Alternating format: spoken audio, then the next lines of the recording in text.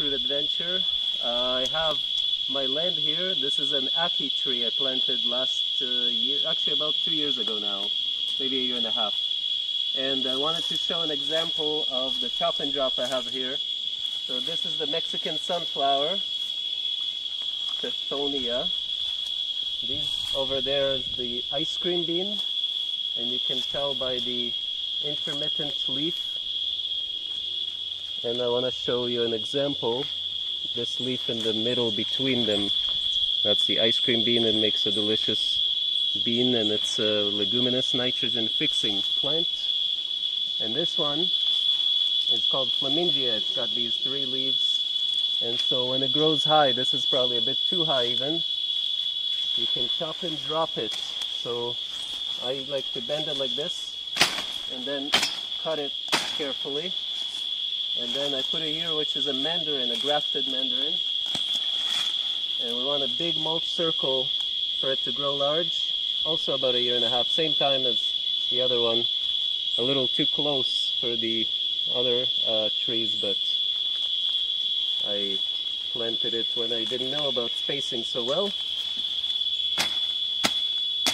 And there's even some weeds here, you can chop and drop those Alright, thanks for visiting Fruit Adventure Boris. This is my land up at Fruit Haven. Check it out.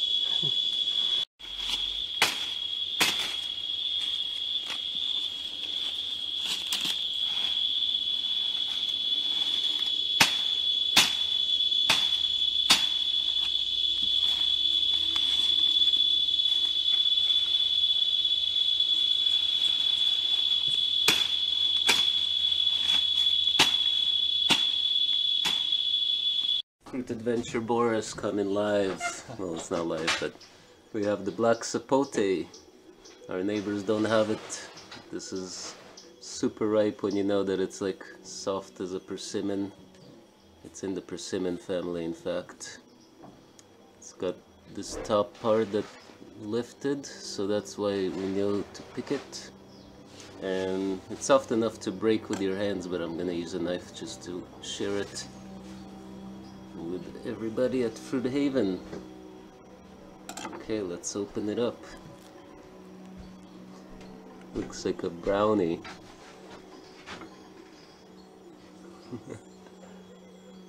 Very nice. Alright, let's give it a taste.